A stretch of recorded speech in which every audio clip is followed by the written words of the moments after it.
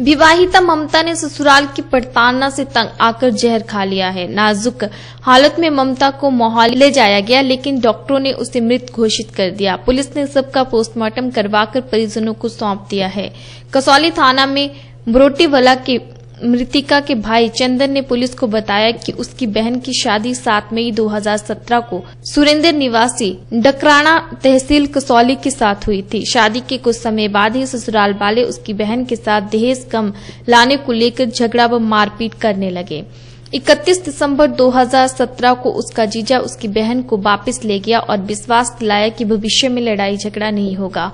कुछ दिन तक सब कुछ ठीक ठाक चलता रहा। दो दिन पहले ही ममता ने फ़ोन करके बताया कि ससुराल वालों ने उसे दोबारा तंग करना शुरू कर दिया है और वो मायके आना चाहती है। लेकिन 10 फरवरी को गाँव के चाचा ने उसे ऑफ़िस में फ़ोन कर बताया कि ममता ने जहर खा लिया है। पुलिस ने मृतिका के पति के खिलाफ मामला दर्ज कर छानबीन शुरू कर दी है। वहीं अतिरिक्त पुलिस अधीक्षक डॉक्टर शिव कुमार शर्मा ने कहा कि इस घटना में पुलिस ने कड़ा संज्ञान लिया है और इस मामले में मृतिका के पति समेत घर के चार सदस्यों को गिरफ़्तार किया गया है।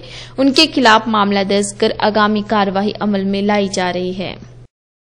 जो केस कसौली में हुआ है, दस तारीख को चार बजे के करीब हमारे पास सूचना प्राप्त हुई थाने में, मैक्स हॉस्पिटल, चंडीगढ़ से, कि किसी लेडी को ब्राउट डेड हॉस्पिटल में लाया गया है। इस पे तुरंत पुलिस जो है स्पॉट पे गई और वहाँ पे जाके जो है जब तहकीकात की गई तो इसमें मिस्टर चंदन हैं, एक बद्दी के रहने वाले हैं, उनका स्टेटमेंट रिकॉर्ड किया गया, जिनके अनुसार जो डिज़ीज़ है वो उसकी सिस्टर थी और इसकी शादी जो है कसौली के एक गाँव में हुई थी। गाँव का नाम हाट बहता है।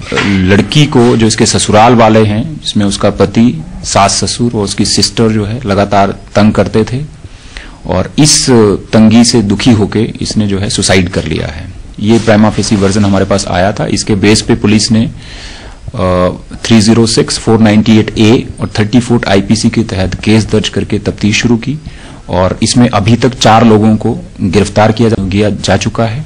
और लड़की का पोस्टमार्टम करवा के उसको आगे पेरेंट्स के हैंडओवर कर दिया है। उनके ब्रदर का कि इसको दहेज के लिए जो है, जो ससुराल वाले थे, वो तंग करते थे और मेंटली टॉर्चर करते थे। इस वजह से उसने ये स्टेप उठाया है। बाकी इसमें इन्वेस्टिगेशन जारी है। जैसे भी अकॉर्डिंगली फैक्ट्स आएँगे, उसके अनुसार कार्रवाई की जाएगी।